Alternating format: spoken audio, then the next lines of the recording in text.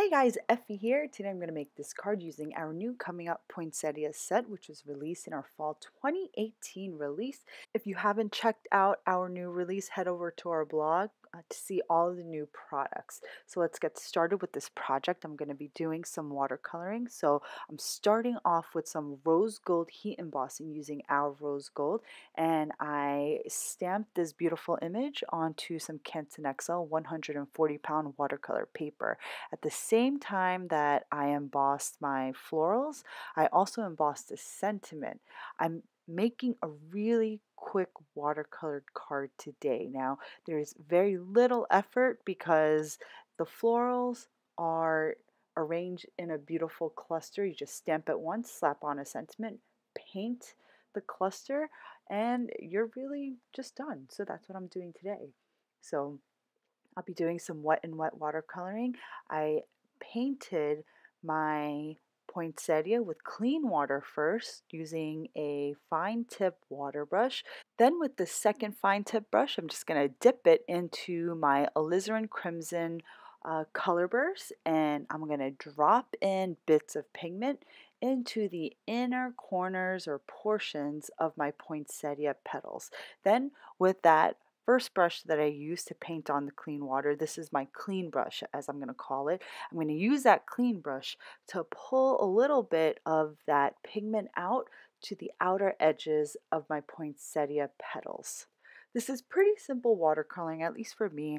Uh, I utilize this technique in most of my videos. So if you're new to our channel, head over to our playlist and the videos uh, where you can watch additional videos of me using this watercoloring technique. And all of the supplies that I use in this video, including the watercolor palette, I know a lot of people are curious about that when they see it for the first time. Everything will be linked in the description box below, so check it out. After I paint my poinsettia petals with my alizarin crimson color burst, I'm going to move on and paint the leaves using phthalo green color burst. And of course, I'll use the same technique. I'll wet the leafy areas with clean water and then I'll just drop in bits of the phthalo green color burst. Now, since the leaves are a lot smaller than the petals, I'm really not going to take too much care. I'm just literally dropping in bits of pigment.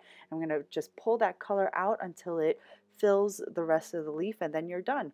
When I began to paint the florals in this cluster for this video, I actually wet all three uh, poinsettias with clean water.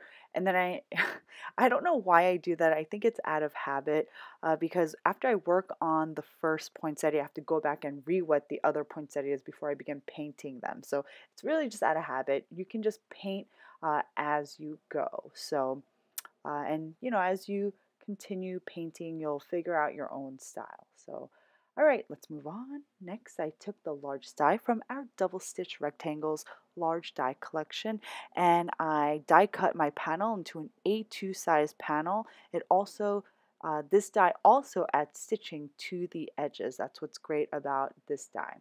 So after I have die cut the panel, to fit my side folding A2 card base, I just added some of our strong double-sided adhesive behind that panel. Um, these do come in sheets, so I just cut them into strips. And then I mounted my painted panel onto my side folding A2 base. And then lastly, I just added some of our clear rhinestones around my sentiment.